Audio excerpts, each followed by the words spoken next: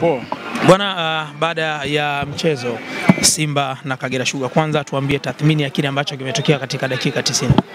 Ah, kwanza kikubwa na tunashukuru Mwenyezi Mungu kwa mchezo umeweza kuisha salama na malengo tuliojiwekea yameweza kutimia asilimia mia katika, katika mchezo huu kwa sababu e, mwanzo tuli- tuliingia katika mchezo huu kama ni, e, ni revenge match kwa sababu raundi ya kwanza tuliweza kupoteza na tuliangusha pointi na ambazo ndo mpaka saizi zinatupa tabu kidogo kuweza kufikia kwa watu wa kwanza waliokuwa na pointi zao. Kwa hiyo na imani tuliingia katika mchezo huu tukisema hii ni revenge match na tumeweza kucheza vile mwalimu alivyo alivyotuandalia na tumeweza kupata matokeo. Kikubwa tulichokuwa tunaangalia kupata matokeo na kuzidi kukusanya pointi aa, na kama tulivyojiwekea sisi katika mechi zilizobaki zote kuweza kupambana na kuweza kushinda katika kila mchezo.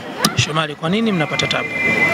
Uh, tabu hatupati isipokuwa tu ukiangalia maandalizi ya, ya mchezo yanakuwa ni ya muda mfupi sana na mechi zipo, zipo nyingi. Ukiangalia sisi kikosi chetu tumetoka katika mashindano ya kimataifa, kwa hiyo mechi zipo nyingi na tunakuwa na, na recover ndogo, kwa hiyo lakini sisi kama, sisi kama wachezaji tunajiandaa tuna- na tuna, tunafanya vizuri katika michezo iliyobaki. Shukrani. Asante.